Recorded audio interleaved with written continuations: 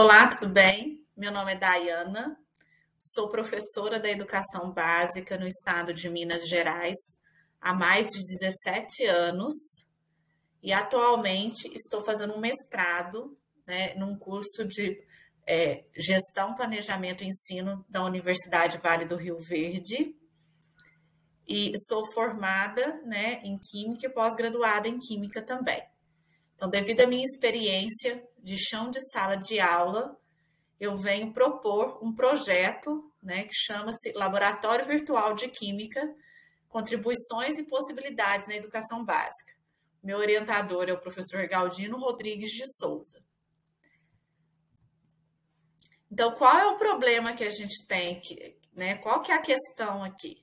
Como contribuir para o processo de ensino-aprendizagem num conteúdo de química por meio de criação e aplicação de um laboratório virtual. Então, esse é o problema da minha pesquisa e o como que eu vou proceder, tá? Então, esse trabalho apresentado para vocês se trata de um recorte da minha dissertação, tá bem?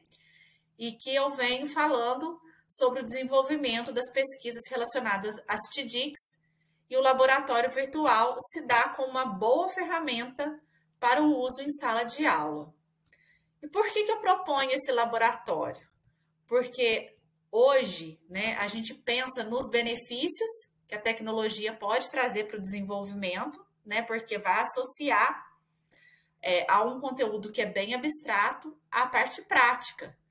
E essa parte prática, muitas vezes, ela é sonegada né, aos nossos alunos, principalmente da educação básica, porque as escolas, por sua vez, não possuem laboratórios de ciências. É quem fala isso é um dado, né, retirado do INEP, né, do censo escolar, onde tem a constatação que somente 12% dessas escolas teriam esses laboratórios.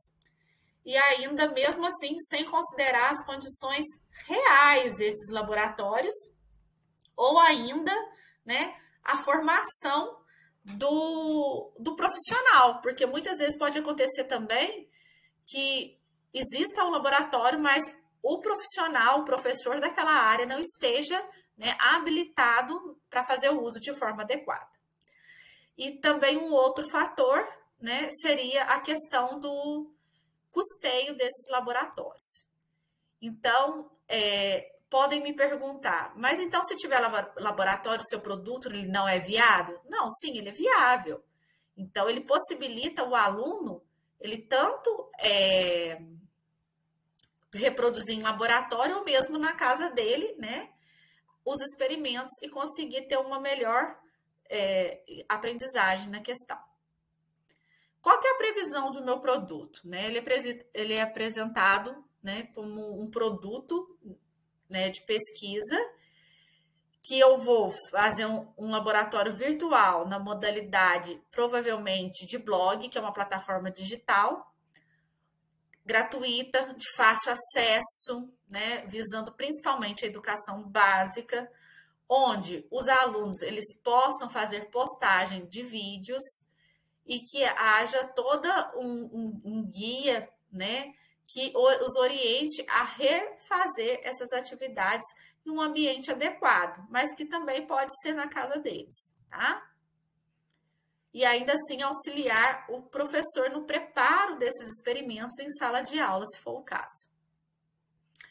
Eu intitulei esse laboratório como Eu na Química, então eu fiz uma alusão aqui, uma brincadeira, né, com a imagem Eu na Química, porque eu vejo que muitas vezes o lúdico ele é trabalhado com a criança na educação infantil e talvez um pouco na educação fundamental 1, porém, quando se tornam jovens, é, eles acabam muitas vezes recebendo conteúdos maçantes e que eles não veem muita aplicação e não acham que fazem parte da vida deles e até tem assim uma roupagem conforme se fosse um conteúdo extremamente difícil e que eles não seriam capazes talvez de compreender o processo.